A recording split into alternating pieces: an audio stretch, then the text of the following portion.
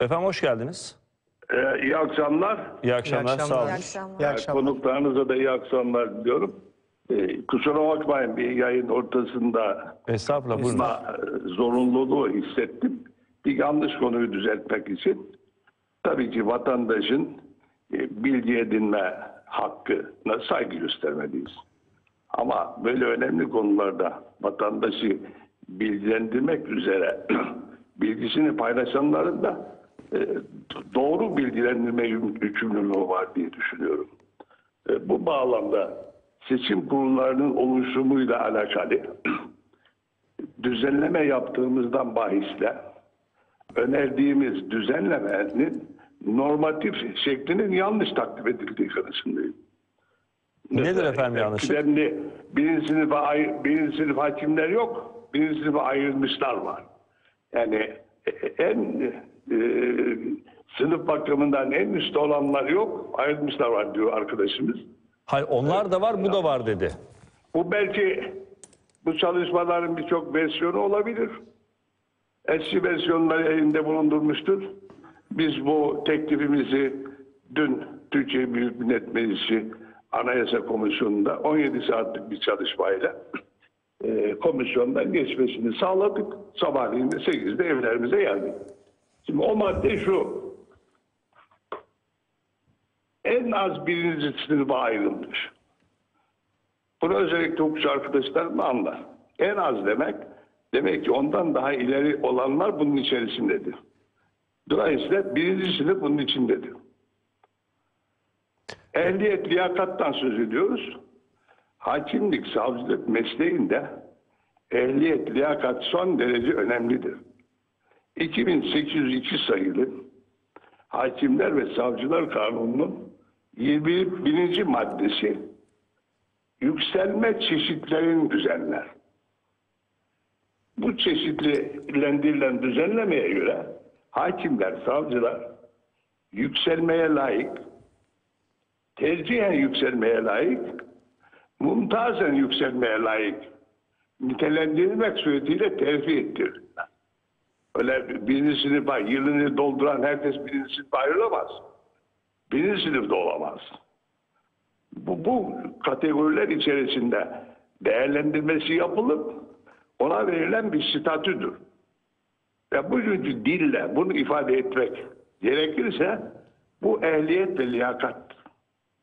Dolayısıyla biz bu görevlendirmelerde böyle önemli e, bir faaliyet alanında görev üstlenecek hakimlerimizin e, ehliyet ve liyakat bakımından daha özenli olması gerektiği kanısındayız. Bu sebeple bu düzenleme yetiyoruz. Niye kura çekiliyor? Ya bu, bu her yerde var. Kur, kura ayıp bir şey değil. Hukuk dışı bir şey de değil. Kura birçok Türkiye Büyük Millet Meclisi'nde var. E, hatta şeylere sanırım Anayasa Mahkemesi üye seçiminde de işte üçüncü oylamada eşitlik olursa sonuçta kura çekilerek belirleniyor. E, biz sorunu bir yere çözeceksin, bitireceksiniz. Dolayısıyla Adli Yargı Adalet Komisyonu'nun önünde, huzurunda kura çekmek suretiyle belirlenmesi de objektif davranmanın bir göstergesidir. Bunun son derece doğru olduğunu kanısındayım. Peki. Bir şey Efendim, daha ben- burada. buyurun size soru Bir- sormak bir şey istiyorlar. ilave daha yapıldı. Buyurun efendim. Ee, yanlış hatırlamadıysam istemeyenler ayrılacak. O ilk versiyonda vardı onu çıkarttık. Şu mantıkla çıkarttık ya hakim hakimlik görevini yapacak. Anayasaya göre seçimler yargı gözetim ve denetim altında yapıldığına göre bunu da görev alacak hakimler eliyle yürütüleceği gerektiğine göre o mesleği kabul etmiş, belli düzeye gelmiş hiçbir hakim hastalık, mucbir durumlar hariç. Ya ben bunu istemiyorum, yapmıyorum. Demen lüksü O zaman yok. hepsi içinde kura mı çekilecek öyle mi anlayalım? Yani Efendim? E, Serkan Yani Toper gönüllülük söylemişti onu. Gönüllülük diye bir şey yok o zaman. Hepsinin içinden kura İlk çekilecek. versiyonda vardı onu çıkarttık. O. Çıkarttınız. Tabii, tabii. O, o statüde olan herkes bu kuraya katılacak. Ha, o Hayati zaman- Bey ben bir Hayati şey Bey, merak ben- ediyorum. ben de Ee, sorayım. affedersiniz. Ben de bir şey sorayım. Neden böyle bir düzenlemeye Aynen. ihtiyaç duydunuz? Yani bu, bu bir maddenin var? gerekçesi nedir? Neden böyle bir yeni düzenleme getirdiniz? Bu getirdiğimiz düzenleme kimi yerlerde seçimde görevli hakimlerin kimisinin emekliliği yaklaşmış, kimisinin başka sorunları vesairesi var. Bu seçim hukukuyla fazla ilgilenmek istememektedirler. Dolayısıyla bu görevden aflarını talep etmektedirler. Böyle olunca da bu çok önemli faaliyet. Seçim hukukunun uygulanması işleri genelde seçim müdürlerinin elinde kalır. Orada profesyonel memur kadrosunda bulunan seçim müdürleri ve diğer yardımcı elemanlar var. Onların elinde kalıyor. Hakim riayet edecek. Onun sevk ve idaresinde olması gerekir. E, Böyle bana göre çok önemli. Hukuken de çok doğru. Demokratik ölçütler itibariyle de hiçbir arızası olmayan e, bir düzenleme öneriyoruz. Takdir meclisin. E, Ben konuklarınıza, sizi dinleyenlere saygı duyuyorum. Ee, İyi akşamlar diliyorum. Sayın, Sayın Yazıcı teşekkür ediyorum. Rezan Özdemir e, yalnız bir şey Say- söyleyecek. e, Sayın zannediyorum Vekilim, size. iyi akşamlar. Bu İyi akşamlar. Sayın Vekilim bu 5. maddede komisyonda en az birinci sınıfa ayrılmış hakimler en az ifadesini getirdik dediniz. E, metnin ilk halinde en az yoktu.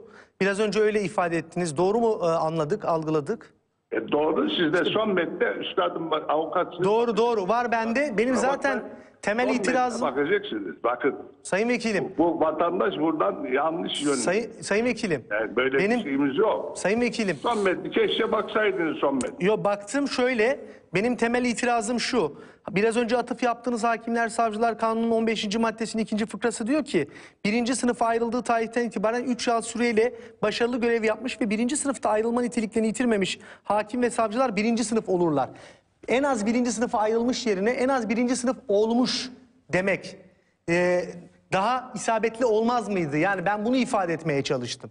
Sonuç itibariyle bir 3 yıl var ve bir Bilmiyorum, terfi ben- var. Bakın bakın biz biz uzmanların görüşlerine saygı duyarız. Ben hukukçuyum, iddialı da bir hukukçuyum. Bütün bunlara rağmen biz bu metne son şekli vermeden önce bu konuda en iyi uzmanlar hep Adalet Bakanlığı'ndaki arkadaşlardır. Yargıtay'da da siyasi partilerle ilgili e, birimdir. YSK'dır. Bunları da toparladık, topladık bir araya. Bunlarla da tekrar gözden geçirdik. Yani biz ciddi bir iş yapıyoruz. Rastgele bir iş yapmıyoruz. Peki efendim. Peki iyi akşamlar. Teşekkür İyi ediyoruz. akşamlar, İyi akşamlar. Bu arada